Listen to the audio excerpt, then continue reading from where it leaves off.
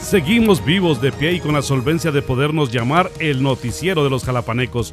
11 años de incomodar a las autoridades corruptas, criminales y delincuentes que a pesar de las intimidaciones no han podido con este medio de comunicación. Maestros tendrán la que podría ser la última asamblea del año, así lo dijo Luis Sender Jiménez, secretario de Actas y Acuerdos del Sindicato de Trabajadores de la Educación. Sí, el día de mañana eh, se tiene agendado realizar eh, asambleas municipales simultáneas en todo el departamento.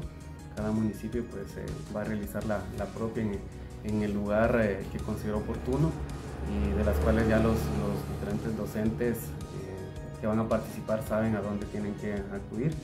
Esperamos pues, que la afluencia de los compañeros docentes sea sea bastante aceptable, ¿verdad? Para que puedan recibir la información sobre los diferentes temas que se les van a transmitir.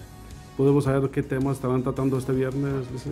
Pues eh, los avances que ha tenido la negociación del pacto, alguna información muy particular sobre las actividades sindicales eh, que se van a llevar a cabo la, otra semana, eh, el tema ahí en Buga que también está actualmente como lo es la situación de empezar el ciclo escolar el siguiente año en una fecha distinta, entre los temas más relevantes a discutir. Para los T21, los Chapines y el mundo, notijalapa.net.